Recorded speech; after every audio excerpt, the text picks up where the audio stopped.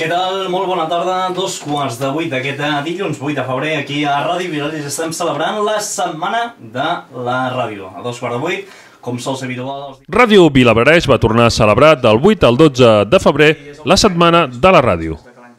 Uns dies en els que una programació especial han servit per commemorar el Dia Mundial de la Ràdio, que segons estableix la UNESCO és el dia 13 de febrer. Durant tots aquests dies, personalitats de diferents àmbits de la cultura catalana van visitar els estudis radiofònics situats a la plaça del Parelló, sense oblidar, això sí, la gent de Vilablareix. Dilluns van passar les entitats esportives i les associacions del poble. Dimecres va ser el torn dels alumnes de l'Institut de Vilablareix per parlar sobre aquest mitjà de comunicació. Mentre que dijous l'alcalde, David Mascor, va argumentar la importància de la ràdio pel poble.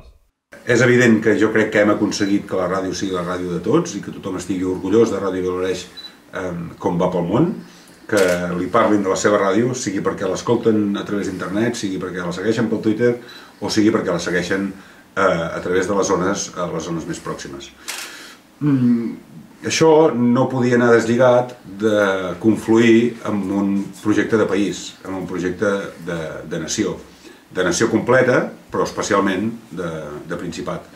I això eh, no podia anar deslligat d'un projecte eh, idiomàtic, cultural, que tingui a veure amb el que som com a país i per tant que tingui com a base la llengua i la cultura catalanes.